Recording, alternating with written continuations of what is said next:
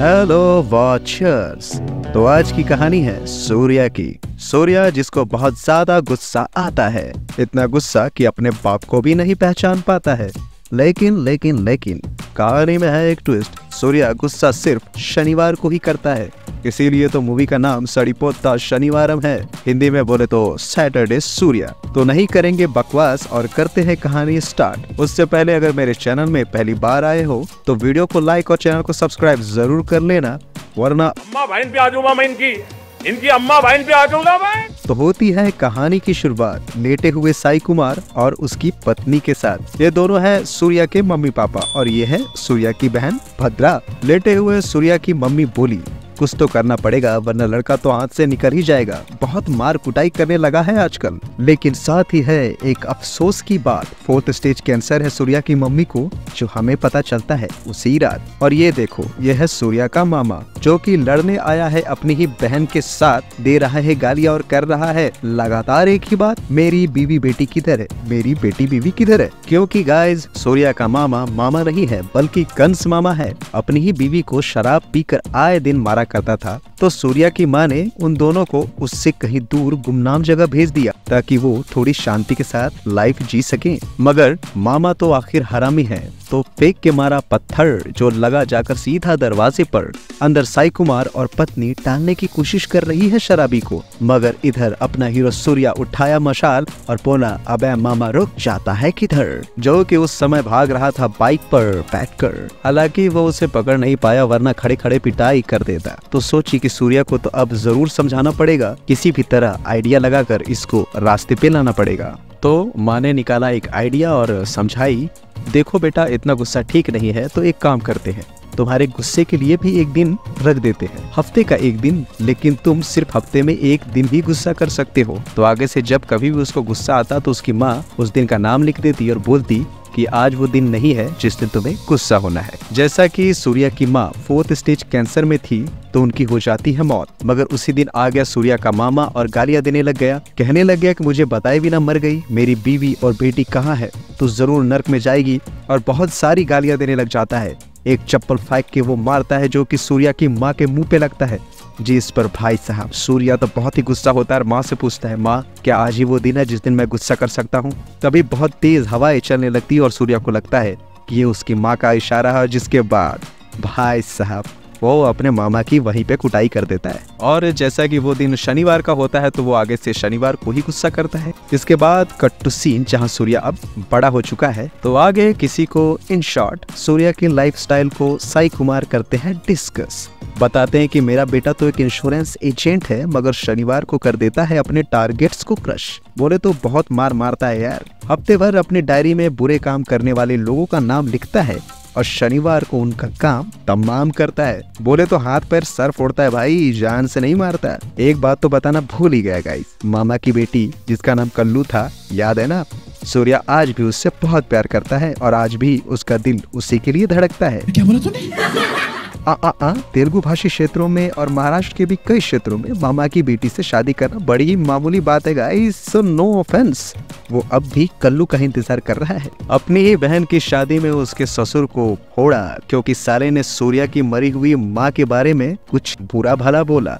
जिससे टूट गया भद्रा और सूर्या का नाता, सूर्या के घर, अब कोई भी भद्रा के ससुराल से नहीं आता जाता। आगे हमें चारुलता को दिखाया जाता है, जो कि असल में वही कल्लू है, जिससे सूर्या बहुत प्यार करता है। हाँ हाँ मामा की बेटी। और साथ ही मूवी के विलन दयानंद को भी इंट्रोड्यूस किया जाता है, जिसमें एक प्रतिशत भी दया नहीं है भाई।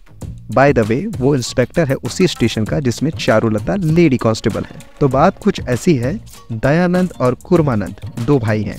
कुरमानंद ने धोखे से बाप की पूरी प्रॉपर्टी हड़प ली तो दयानंद के हाथ लगा। बाबा जी का ठुल्लू इसीलिए कुरमानंद के अकाउंटेंट को दयानंद ने पकड़ा और सुझा दिया लुल्लू, ताकि सीधा कर सके उल्लू, मगर यार, उसे तो फ़र्क ही नहीं पड़ा तो छोड़ दिया उसको, मगर तभी आया फ़ोन, बताओ, लाइन में है कौन? कुरमानंद बोला, मेरे अकाउंटेंट गोवर्धन को छोड़ दे, ज़मीन के पेपर्स पर साइन मैं कर दूँगा, मगर तब तक तो दयानंद ने छोड़ ही दिया था गोवर्धन को मतलब गई भैंस पानी में। पैतालीस करोड़ की ज़मीन थी भाई तो देखो, ज़मीन का मामला है क्या? बाप की प्रॉपर्टी की ज़मीन का हिस्सा था दयानंद का, लेकिन कर लिया बड़े भाई कुरमानंद ने कब्जा तो केस कर दिया इंस्पेक्टर दयानंद ने, मगर लोगों ने दिया बड़े भाई का साथ यहाँ तक कि इलेक्शन भी जीता दिया। इलेक्शन जीतने के बाद नहीं करता कुरमानंद पब्लिक तक से बात। इसीलिए बदले की आग में जलता दयानंद, देता है उनको लातम लात। मतलब बहुत सताता है यार। आगे चारुलता जिसका दिल है बहुत अच्छा बचाना चाहती बस्ती वालों को जिसको दयानंद है बहुत सताता। एक दिन दयानंद एक लेडीज़ से कर रहा होता है झगड़ा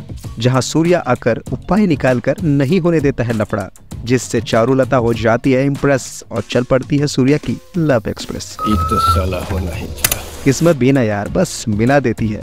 क्या इसी को टू लव कहते हैं? तो आगे बहुत सारी चीज़ें होती हैं।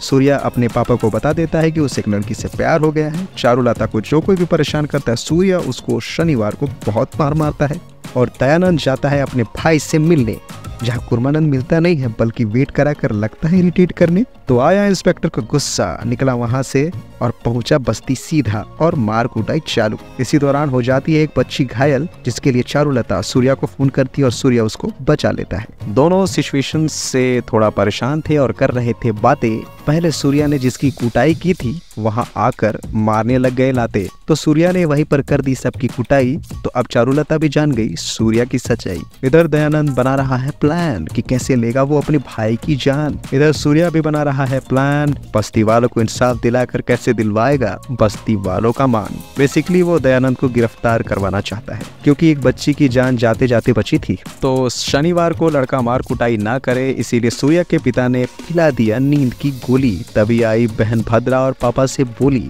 मेरा अपने पति से झगड़ा हो गया बाकी खुद ही समझ लो दोस्तों। लेकिन तभी बहुत सारे लोग सूर्या को मारने आ जाते हैं, क्योंकि सूर्या ने शनिवार बोल बोल के ना इतने लोगों को पेला है कि भाई साहब, हर दस मिनट में कोई ना कोई उसको मारने आता ही रहता है। लेकिन सूर्या तो है बेहोश और आखिर कौन अब उसे बचा सकता है? मगर पापा ने लगाई आवाज़ तो होश में आकर सूर्या सबको उठा उठा कर पटकने लगता है और अपनी बहन को देखकर थोड़ा इमोशनल भी हो जाता है। जिसके बाद सीधा वो दयानंद को कूटने जाता है, मगर तभी सूर्या आकर लगा देता है वार्ड, जिससे दयानंद के चेहरे में लग जाता है कार्ड एकदम विलन स्टाइल में। जिसमें कुर्बानंद बचकर भाग जाता है, मगर उससे एक गलत फहमी हो जाती है।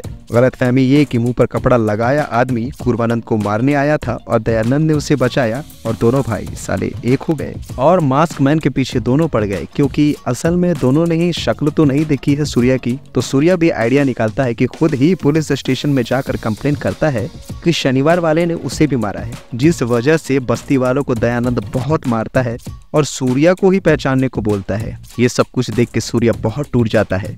मगर पापा बोलते हैं, असली गुस्सा वही है जो अपने साथ हिम्मत लेकर आए। देखा दोस्तों, हम लोग हर मूवी से कुछ न कुछ सीख ही लेते हैं। तो गया सूर्या सीधा बस्ती वालों के पास और करने लगा कोशिश जगाने की बस्ती वालों की अंदर की आग। मगर कुरमानंद जान गया सच्चाई असल मारने आया था उसका ही भाई। मगर कुरमानंद ने दया को मार दिया और इल्ज़ाम सारा सूर्या पर लगा दिया। और चारुलता को बस्ती वालों के सामने ही मारने लग गया। तभी आया सूर्या, जिसको शुरू शुरू में दयानंद ने खूब धोया, मगर बाद में खाके पिटाई साला दयानंद ही रोया। अच्छी खासी एक्शन सीन दिखाई जाती है दोस्तों, जहाँ सूर्या बस्ती वालों के दिल से डर, खौफ निकाल पाता है और सूर्या को उसके गुस्से का सही मतलब समझ आता है। जिसके बाद गाइस क्लाइमेक्स वाला सीन होता है, जहाँ सब बहुत खुश हो जाते हैं और सूर्या, चारुलता एक दूसरे के हो जाते हैं। और इसी के साथ आज की नटशेल यहीं पे खत्म होती है दोस्तों। आगे मिलेंगे ऐसे ही किसी मज़ेदार वीडियो में। तब तक के लिए thank you very much for watching keep watching watch on point